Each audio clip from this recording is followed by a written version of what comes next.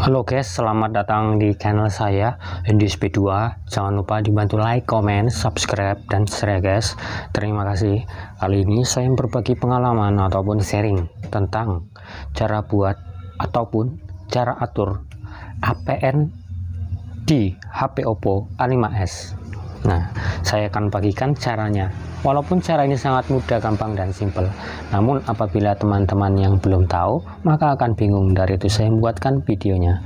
Semoga video ini bermanfaat dan menjadi referensi. Langsung saja, sebelum kita membuat APN ataupun mengatur APN, kita wajib masuk ke pengaturan ataupun setelan HP Oppo A5s seperti ini. Kemudian kita pencet kartu dual SIM Nah, sampai kartu dual SIM ini kita pilih SIM 1 ataupun SIM 2 yang mau diatur APN-nya. Kalau SIM 1 yang mau diatur ya ini SIM 1 dipencet. Nah, ini dia dipencet.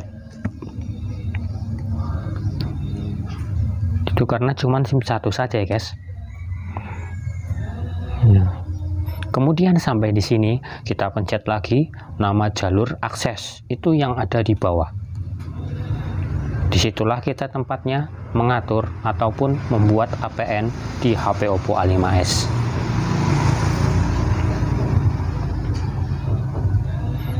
Pencet ya nama jalur akses. Sampai di sini kita kalau membuat APN baru kita pencet tambah di bagian kanan atas.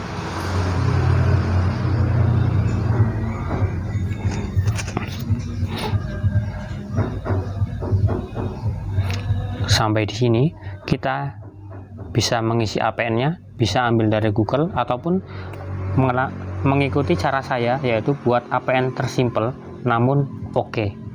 nah ini untuk nama kita isi AH AHA ini adalah APN tersimpel dan juga mantap. Cukup nama dan APN-nya saja yang diisi. AH AHA kemudian kita simpan. Untuk APN kita isi AH AHA simpan. Jadi cukup APN dan nama saja yang diisi. Kemudian simpan di bagian kanan atas.